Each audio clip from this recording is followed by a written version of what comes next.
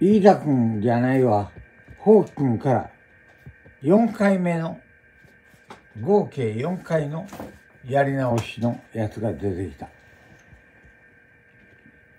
宝く君よく頑張っている。4回書いた同じようなことを書いたことは、決して無駄ではない。言われずともやってきた。言われずともやり直してきた。その熱心を買いたいと思う。言われてもやらない男より、言われずとも4回も同じようなものを検討して書いてくる。だいぶ僕の言うたことが分かってくれてきたようである。たとえ出来は良かっても悪かっても構わない。それだけやり直して考えたということが貴重である。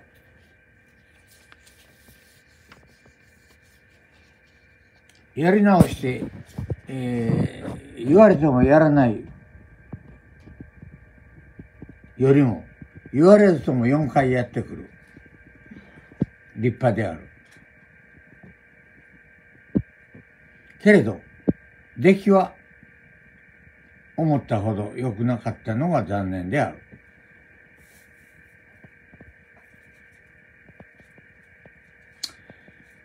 まず、ここに書いているように、4回目、4月10日、訂正4回目放棄。こういうふうにはっきり書いとくこと。あと整理がよくできる。フォーク君の頭が一つ進んだ。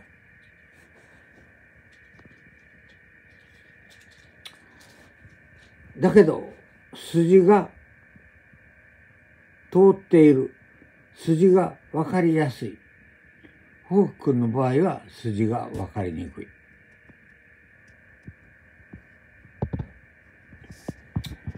これ、キコじゃなしに、鬼泣くと書いて、鬼が、この字やな、帰国。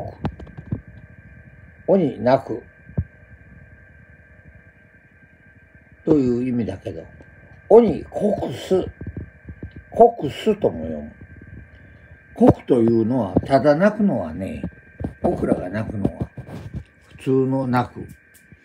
それに対して、この国という字、国すという字は、大声を上げて、まあ、手振り回して、足振り上げて泣くというふうな、体中で泣くのを大声で、国という、国すという。この人は悲しむというのは、なぜ人は悲しむのか、よくわからん。ただ恐る。なぜただ恐れるのか、よくわからん。別類の別。別れるとはどういう意味か。普通別類とは、例えば神戸港で別れたとか、そんな別れの涙を別類という。それと、古中というのは、誰の古中や？大将の古中か、一平素の古中か、夢というのは何か？一人奉公したんは、誰が奉公したんか？作者が奉公したんか？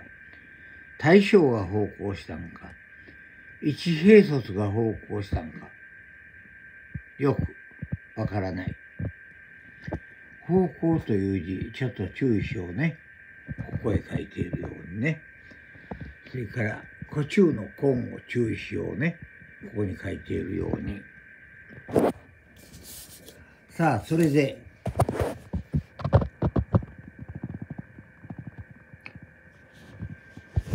僕は今、筋を簡単に、優しい感じで、優しい表現で、優しい、わかりやすい筋で、と言うてやる。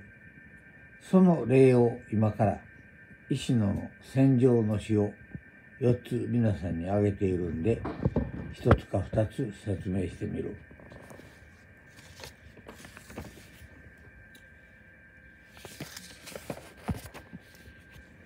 こういうふうなやつ医師の皆さんにあげているね。こういうふうなやつ。これで説明しよう。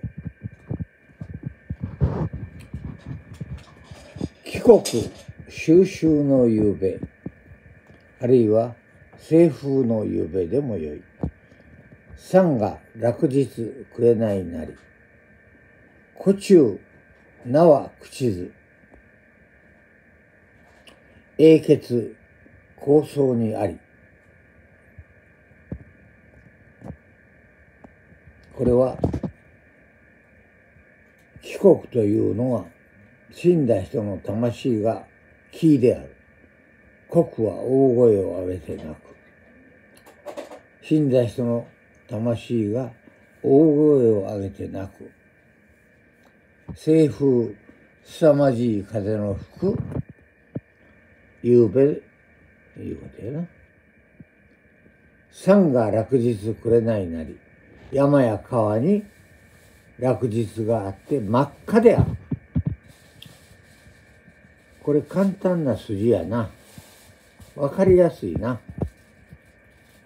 状況がわかりやすいな。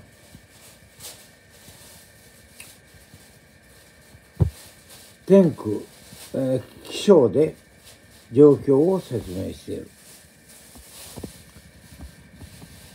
古中、名は口ず、一人尽くした忠義、その名は朽ちることがない。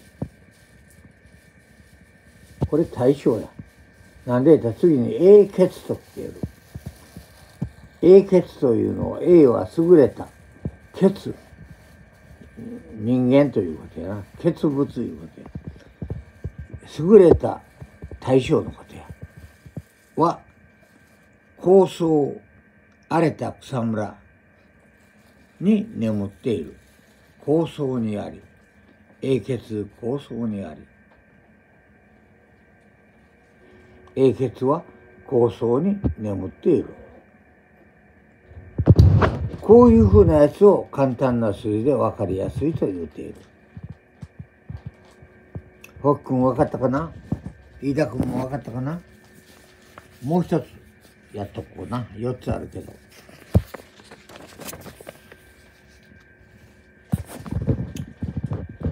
えー、骨、口。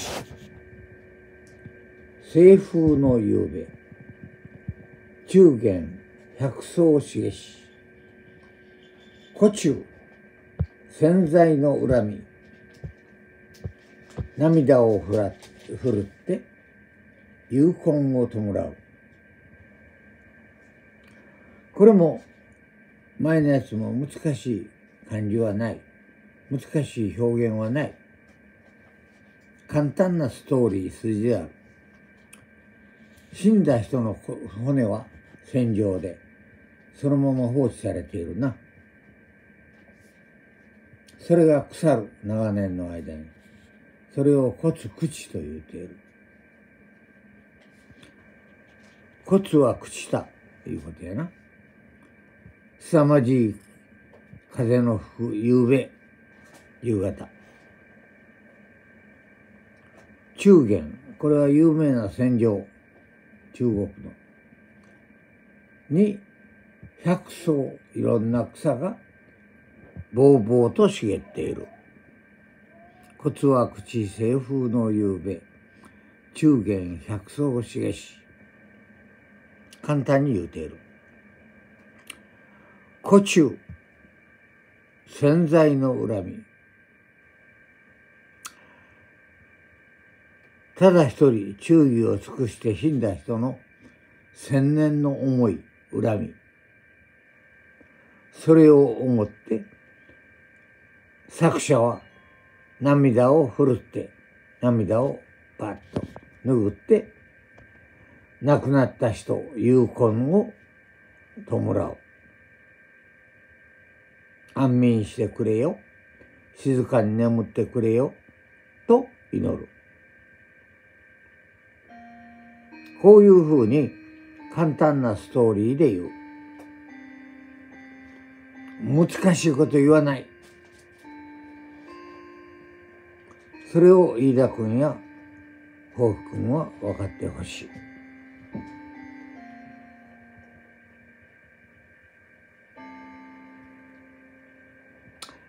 ということで今日の宝福君の持ってきたやつの解説を終わる。ああこのやつは、宝君、飯田君、五代君に渡してやる。ところで五代君、今、宝福君と飯田君に説明した。君もよくその説明を聞いて勉強しておいてくれよ。今度目、五代君にも聞く。これはフォークや飯田君のことやわしは関係ないとし、そんな態度はいかん。必ずこれを読んで勉強しておく。